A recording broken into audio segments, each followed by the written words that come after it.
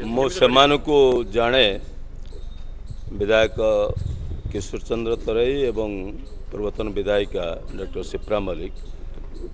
ସେମାନଙ୍କ ପ୍ରତି ମୁଁ କୃତଜ୍ଞତା ଜଣାଉଛି କାରଣ ମୁଁ ଜାଣେ ଏଇଥିପାଇଁ ସେମାନେ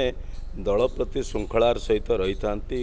ଏବଂ ସବୁଠୁ ବଡ଼ କଥା ଆମର ନେତା ପ୍ରିୟ ମୁଖ୍ୟମନ୍ତ୍ରୀ ନବୀନ ପଟ୍ଟନାୟକ ଯାହାଙ୍କ ପ୍ରତି ମୋ ସମେତେ ଯେଉଁମାନେ ବିଜୁ ଜନତା ଦଳରେ ଅଛନ୍ତି। ସମସ୍ତଙ୍କର ତାଙ୍କର କାର୍ଯ୍ୟଧାରା ଯାହା ଆଦର୍ଶ ହୋଇଯାଇଛି ଓଡ଼ିଶାବାସୀଙ୍କ ପାଇଁ ଏବଂ ଭାରତବର୍ଷରେ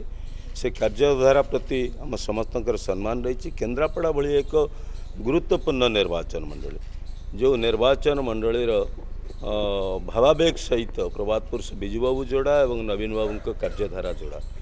ଏବଂ ସେଥିପ୍ରତି ଅ, କିଶୋର ତରାଇ ଏବଂ सिप्रा मल्लिक भौणी दिउँ सान भाई भौणी भाई म श्रद्धा करे समान कर्म व्यक्ति प्रति व्यक्तिगत सम्मान रही सेठी आउ जो माने अच्छा संगठक भाव में श्री रतन पेशाची नायक जे प्रार्थी होती अनुभव ये समस्त प्रति निश्चित भाव में केन्द्रापड़ावासी जो आवेग अच्छी आगक नबार आम समस्त मिलित भाव में कम करूँ। जनता दल बुझे